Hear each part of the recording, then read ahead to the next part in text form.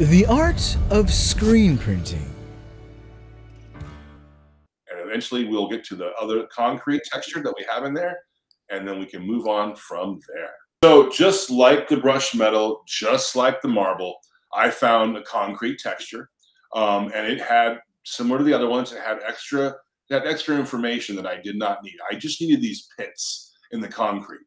So using levels, I reduced the information that was lighter and then I darkened up the pits in this concrete so that I could use it. And again, notice this is on a channel. You can see my channel over here because um, I can do all my manipulation much easier here. Once I get that all finished, we apply it to our actual layers. Let's go back over there. Now you can see this is the, the this texture has been now moved from a channel to a layer, and you can see that it now is on the ring.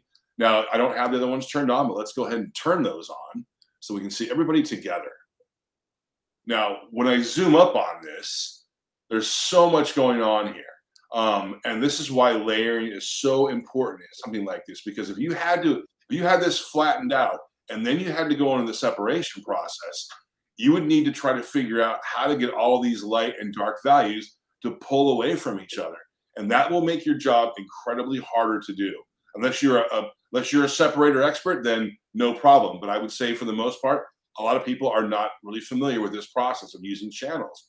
But again, using layers, that's not uncommon. But when you do it like this, it will make your separation process much simpler. Granted, maybe all the details of this will not necessarily be in the final print, but all the values of light and shadow and the color changes will be represented. And that's what you care about most.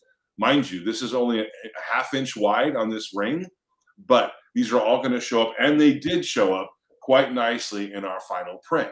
So I would always encourage, no matter what you're working on, whether it's a half inch wide or it's a three inch wide, always work your layers out and your details so that you can edit very easy. So, and you're not trying to fight against yourself with all the things that you're applying. Because I'm a little bit of a crazy person. I like to have a lot of textures on things. And so, but this is the best way to do it because you're considering production as well as just creating artwork. So always keep that in mind. Using channels to get your information to extract, and then go ahead and use them on your layers to create the color composition of what you're working with.